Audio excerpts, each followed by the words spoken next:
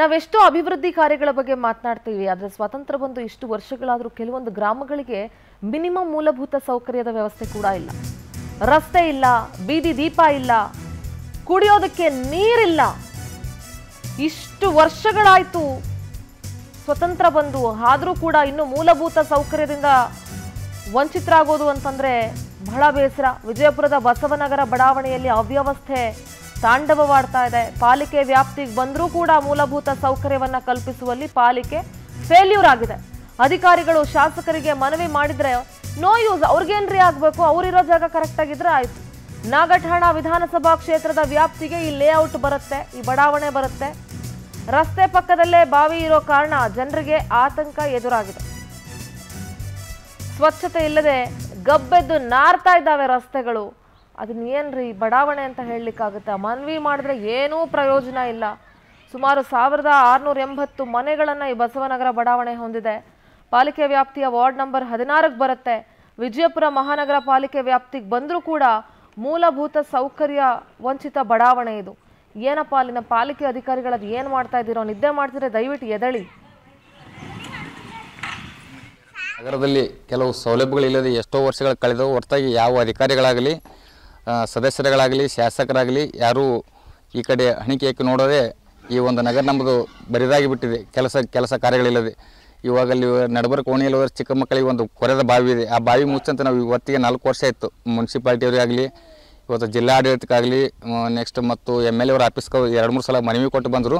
ಆ ಬಾವಿ ಮುಚ್ಚಲಾಕ್ ತಯಾರಿಲ್ಲ ಅವರು. ಮುಚ್ಚಲಾಕ್ ತಯಾರಿಲ್ಲ ಸರ್ ಅದರಿಂದ ಏನಾಗ್ತಪ್ಪ ಅಂದ್ರೆ ಸಣ್ಣ ಸಣ್ಣ ಮಕ್ಕಳಿಗೆ ಮತ್ತು ವಯಸ್ಸಾದ ಮುದುಕರು. ರಾತ್ರಿ ಟೈಮ್ ಅದ್ರ ಬೀದಿ ದೀಪಗಳಿಲ್ಲ ಮೇಲಾಗಿ ಬೀದಿ ದೀಪಗಳಿದ್ರಪ್ಪ ಅಂದ್ರೆ ಅದು ಬಾವಿ ಕಾಣ್ತಾರೆ ಅವ್ರು ಹೋಗ್ಬೇಕಪ್ಪ ಅಂತಂದ್ರೆ. ಈಗಲೇ ಎರಡು ಅನಾಹುತಗಳು ಅಲ್ಲಿ ಹುಡುಗರು ಇದು ಬಾವಿ ಐತಲ್ಲ ಆ ಬಾವಿ ಮುಚ್ಚಬೇಕು. ಆ ಬಾವಿ ಮುಚ್ಚಿ ರೋಡ್ ಮಾಡಬೇಕು. ಏನ್ ಸಮಸ್ಯೆ ಆಗಿದೆ ಬಾವಿ ಹುಡುಗರು ಬಂದು ಬಂದು ಆಟ ಆಡಕ್ಕೆ ಹೋಗಿ ಆಟ ಆಡಕ್ಕೆ ಹೋಗಿ ಬಿದ್ದಾವ. ಬಿದ್ದರೆ ನಮ್ಮ ಮೇಲೆ ಅಪ್ಪ ನಾವು ಮನೆ ಬಾವಿ ಸನೇಕ ಅದೀವಿ. ಅದಕ್ಕೆ ನಮ್ಮ ಮೇಲೆ ಅಪವಾದ ಬರಬಾರ್ದು. ಕಂಪೌಂಡ್ ಅದೇನಿಲ್ಲ ಇಲ್ಲ ಇಲ್ಲ ಕಂಪೌಂಡ್ ಏನೂ ಇಲ್ಲ. ಕಂಪೌಂಡ್ ಇಲ್ಲ ನಮ್ಮ ಪ್ರತಿನಿಧಿ ಸುನಿಲ್ ಭಾಸ್ಕರ್ ನೇರ ಸಂಪರ್ಕದಲ್ಲಿ ಜಾಯ್ನ್ ಆಗ್ತಾರೆ.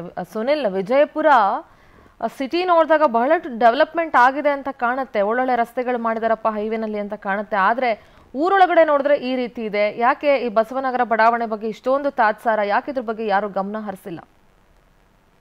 ಆ, ಖಂಡಿತವಾಗಿಸಿದ್ರೆ ಅಂತಂದ್ರೆ ಇದು ವಿಜಯಪುರ ಮಹಾನಗರ ಪಾಲಿಕೆ ವ್ಯಾಪ್ತಿಯ ವಾರ್ಡ್ ನಂಬರ್ ಹದಿನಾರು. ಇದು ವಿಜಯಪುರ ಸಿಟಿಗೆ ಬರಲ್ಲ ಆದ್ರೆ ನಾಗಠಾಣ ಮೀಸಲು ಮತಕ್ಷೇತ್ರ ವ್ಯಾಪ್ತಿಗೆ ಬರುವಂತಹ ಬಡಾವಣೆ ಆಗಿರುವಂತದ್ದು ಈ ಬಡಾವಣೆ ಈ ವಾರ್ಡ್ನ ಶಾಸಕರು ವಿಠಲ್ ಅಂತ ನಡೆಸ್ತಾರೆ ಅಂದ್ರೆ ನಾಗಠಾಣ ಮತಕ್ಷೇತ್ರ ವ್ಯಾಪ್ತಿಯಲ್ಲಿ ಬಡಾವಣೆ ಬರೋದ್ರಿಂದ ಇದು ಒಂದಿಷ್ಟು ಅಭಿವೃದ್ಧಿಯಲ್ಲಿ ಹಿಂದೇಟು ಹಾಕುವಂತ ಪರಿಸ್ಥಿತಿ ಕೂಡ ನಿರ್ಮಾಣವಾಗಿದೆ. ಎರಡ್ ಸಾವಿರದ ಎರಡ್ ಸಾವಿರದ ಎರಡ್ ಸಾವಿರದ ಒಂದರಲ್ಲಿ ಸುಮಾರು ಒಂದ್ ಸಾವಿರದ ಆರ್ನೂರಕ್ಕೂ ಅಧಿಕ ಆಶ್ರಯ ವಸತಿ ಯೋಜನೆಗೆ ಜ- ಬಡಾವಣೆಯ ನಿವಾಸಿಗಳಿಗೆ ಮನೆಯನ್ನು ಕಟ್ಟಿಕೊಟ್ಟಿದ್ದಾರೆ.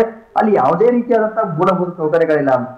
ಸರಿಯಾದ ರಸ್ತೆಗಳಿಲ್ಲ ವಿದ್ಯುತ್ ದೀಪಗಳಿಲ್ಲ. ಜೊತೆಗೆ ಅವರು ಇಲ್ಲಿವರೆಗೆ ಸಹಿತ ಬಯಲು ಬಹಿರ್ದೆಸೆಗೆ ಹೋಗುವಂತ ಪರಿಸ್ಥಿತಿ ಈ ಬಡಾವಣೆ ನಿವಾಸಿಗಳದ್ದಾಗಿದೆ. ಅಲ್ಲಿ ಡ್ರೈನೇಜ್ ಕನೆಕ್ಷನ್ ಇಲ್ಲ. ಹೀಗಾಗಿ ಅನಿವಾರ್ಯವಾಗಿ ಅಲ್ಲಿನ ಮಹಿಳೆಯರು ಬಯಲು ಬಹಿರ್ದೆಸೆಗೆ ಹೋಗುವಂತ ಪರಿಸ್ಥಿತಿ ಮಹಿಳೆಯರಾಗ್ಲಿ ಪುರುಷರಾಗ್ಲಿ ಎಲ್ಲರೂ ಕೂಡ ಹೊರಗಡೆನೆ ಹೋಗ್ಬೇಕು. ಒಂದ್ ವೇಳೆ ಕರೆಂಟ್ ಇರದೇ ಇರುವಂತ ಸಂದರ್ಭದಲ್ಲಿ ರಾತ್ರಿ ಏನಾದ್ರು ಹೊರಗಡೆ ಹೋದ್ರೆ, ಆ ಹುಳು ಹುಪ್ಪುಡಿಗಳ ಕಾಟ ಕೂಡ ಹೆಚ್ಚಾಗಿದೆ ಅಂತಾನೆ ಹೇಳ್ಬೋದು. ಆ, ಬೇರೆಯವ್ರ ತೋಟದಲ್ಲಿ ಹೋಗ್ಬೇಕು, ಅವರು ಕೂಡ ಅವ್ರ ತೋಟದಲ್ಲಿ ಬಂದ್ರೆ ಅವರು ಕೂಡ ಬೈಯುವಂತದ್ದು. ಈ ರೀತಿಯಾಗಿ ಅವರು ಸಂಬಂಧಪಟ್ಟಂತ ಅಧಿಕಾರಿಗಳಿಗೆ ಅಂದ್ರೆ ಪಾಲಿಕೆ ಅಧಿಕಾರಿಗಳಿಗೆ ಇಲ್ಲ ನಾಗಠಾಣ ಮೀಸಲು ಮತಕ್ಷೇತ್ರದ ಶಾಸಕರಾದಂತಹ ವಿಠಲ ಕಟ್ಟಿಕೊಂಡವರಿಗೆ ಕೂಡ ಈಗಾಗಲೇ ಹಲವು ಬಾರಿ ಮನವಿಯನ್ನು ಕೂಡ ಮಾಡಿದ್ದಾರೆ. ಜೊತೆಗೆ ಆ ರಸ್ತೆ ಪಕ್ಕದಲ್ಲಿ ಅಂದ್ರೆ ಬಡಾವಣೆ ನಿವಾಸಿಗಳು ವಾಸಿಸುವಂತ ಮನೆಗಳ ಪಕ್ಕದಲ್ಲಿ ಒಂದು ತೆರೆದ ಬಾವಿ ಇದೆ.